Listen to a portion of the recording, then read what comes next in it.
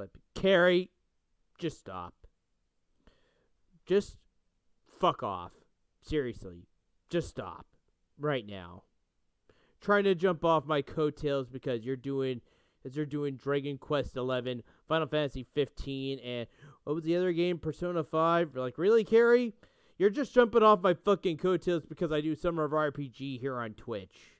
That's fucking pathetic, okay? Just do me a favor. Fucking quit it right now.